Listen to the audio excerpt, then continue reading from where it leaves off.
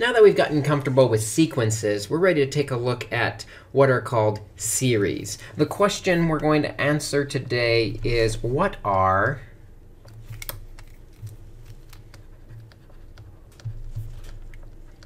series? And series are related to sequence. What a series is going to do is find the sum of the numbers in a sequence. Basically, we're going to have a sequence of numbers, and we're going to add them all up. And this is something we're going to be very interested in when we get to calculus, is we're going to add up an infinite number of numbers and see what they add up to. So just kind of as a preview of calculus, we're going to add maybe 1 plus 1 half plus 1 third plus 1 fourth and add those up forever. Versus if I add maybe 1 plus a half plus a fourth plus an eighth plus a sixteenth and add those up forever. And what's interesting to us in calculus as we add these sequences together, the first sequence where we're adding with 2, 3, 4, 5 in the denominator, that actually is going to add up to infinity. While the bottom sequence, we're having powers of 2 in the denominator, 1 half, 1 fourth, 1 eighth, 1 16th, that's going to actually add up to the number 2. And so sometimes a series of numbers will add up to infinity, and sometimes a series of numbers will add up to a specific number. And that's what you're going to be interested in when you get to calculus. For our purposes, we're not going to add up an infinite number of numbers. We're just going to look at how we can add up a series of a finite number of elements. So to set this up, I'm going to talk about what is called sigma notation. And a sigma notation you'll see looking something like this. We'll have the Greek letter sigma, which I draw very poorly. It's a capital letter sigma. Beneath it, you'll see something like k equals 1. Above it, you'll see a number maybe like the number 5. And then you'll see an expression afterwards, maybe 2k minus 1. What the pieces here mean is this Greek letter sigma, that funky character, that means add up. The k equals, that is the variable in the problem. And you'll notice that that variable did show up, 2k minus 1. The bottom value that k equals is what k is going to start at. And the top number tells us what k is going to end at. And so basically what this means is we're going to start with k equals 1, because that's the starting number. And then I get 2 times 1 minus 1, which is 1. And then k is going to start to count up k equals 2 will give me 2 times 2 minus 1, which is 3. And it's going to keep counting up. k equals 3. The expression then is 2 times 3 minus 1, which gives me 5. Then k equals 4 would be 2 times 4 minus 1, which is 7. And k equals 5 would be 2 times 5 minus 1, which is 9. I'm going to stop there because I got up to k equals 5, which is the top number of the sigma. That's my ending value. And so if I want to calculate the sum as k goes from 1 to 5 of 2k minus 1, that means we're going to add the sequence of numbers that we just found. 1 plus 3 plus 5 plus 7 plus 9 equals 25.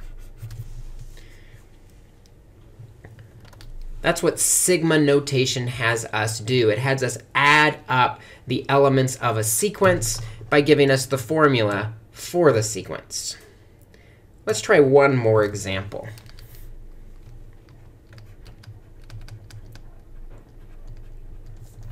Let's find the sum as n goes from 2 to 4 of negative 1 to the n power times 2 to the n plus 1 over n factorial. Well, we can see that n is going to start at 2 and count up to 4. So if n equals 2, we have negative 1 squared times 2 to the 2 plus 1 over 2 factorial. When I simplify that, the negative 1 squared is a positive 1. Then we have 2 to the third power, which is 8, divided by 2 factorial, which is 2. So that's going to simplify to 4. Then n counts up. So now n is going to be equal to 3. Negative 1 to the third power times 2 to the 3 plus 1 over 3 factorial. Now when the negative 1 is cubed, that's going to give me a negative. 2 to the fourth power is 16 over 3 factorial means 3 times 2, which is 6. And that's going to simplify to negative 8 thirds. Continuing to count up, where n is now equal to 4, we have negative 1 to the fourth power times 2 to the 4 plus 1 over 4 factorial. Simplifying this, negative 1 to the fourth is going to be a positive 1. 2 to the fifth is 32 divided by 4 factorial is 4 times 3, which is 12, times 2, which is 24. And dividing both by 8, we end up with 4 thirds. And so finally, to finish this off, the sum as n goes from 2 to 4 of negative 1 to the n of 2 to the n plus 1 over n factorial would be the sum of those terms. 4 plus a negative 8 thirds plus 4 thirds. And I might get a common denominator on the 4. 4 with a common denominator would be 12 thirds. And so we have 12 minus 8 plus 4 is equal to 8 thirds is the sum of this series. A series is adding the numbers of a sequence.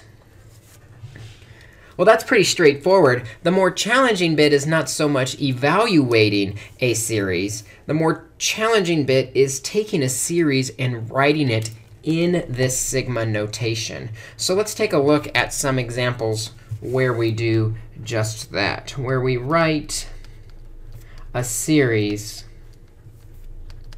in sigma notation.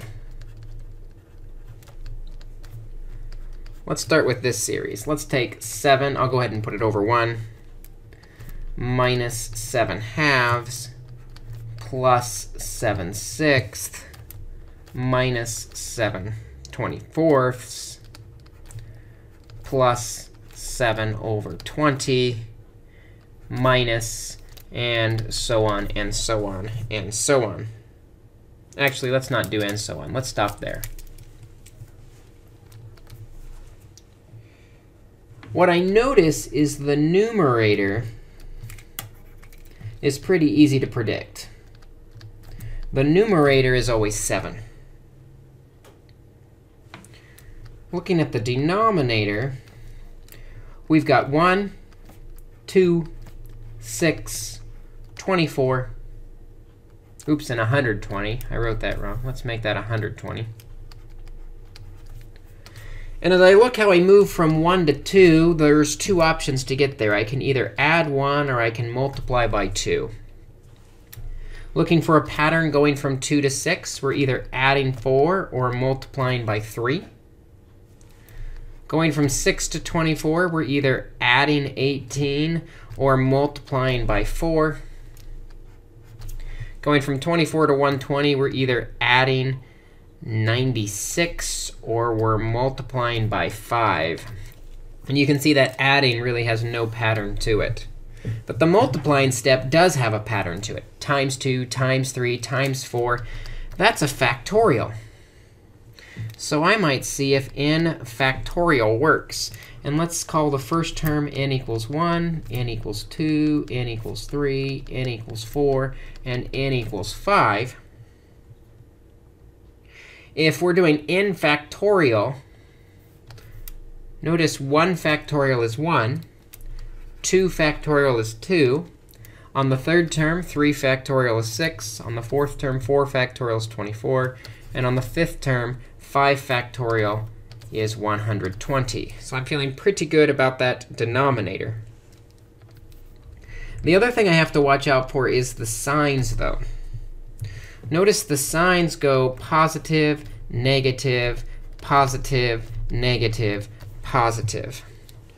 When we have alternating signs, the way we can get that is we can take negative 1 raised to some exponent. Sometimes the exponent is n, and sometimes the exponent is n minus 1. Notice when we say the first term n equals 1, the first term is positive.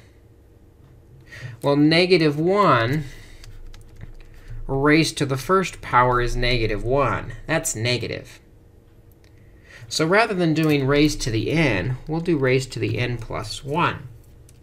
By making it n plus 1, now on the first term, 1 plus 1 is 2, and negative 1 squared is a positive 1, and that's going to give us the positive that we need. So we've got three parts. We've got our numerator, our denominator, and the negative, the alternating signs. If we put this all together,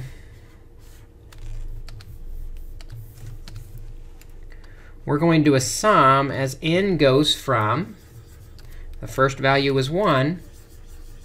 The last value was 5. We said the numerator was 7. We said the denominator was n factorial. But then we also need the alternating sign, which comes from negative 1 to the n plus 1. Putting together all the pieces, we've taken this series and we've rewritten it in sigma notation. Let's try one more example before I let you go to practice some on your own.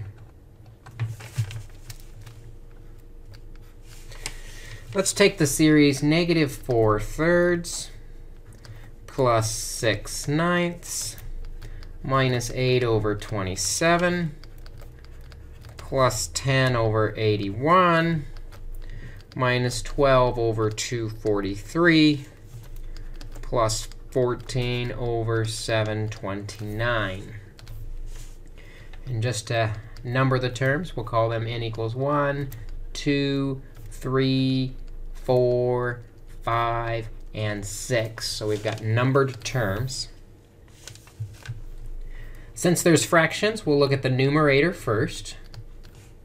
The numerator is going 4, 6, 8, 10, 12, 14. And you can probably see what's happening is we're adding 2 each time to get my new numerator. So I might try 2n. The problem is when n equals, we can pick any one. Let's look at n equals 2. When n equals 2, we want the answer to be 6. We have 2 times 2, which is 4.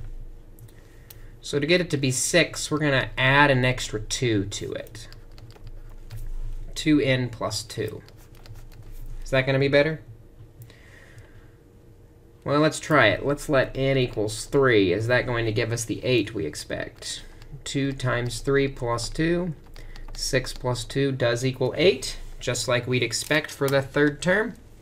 So I feel pretty good. The numerator is 2n plus 2.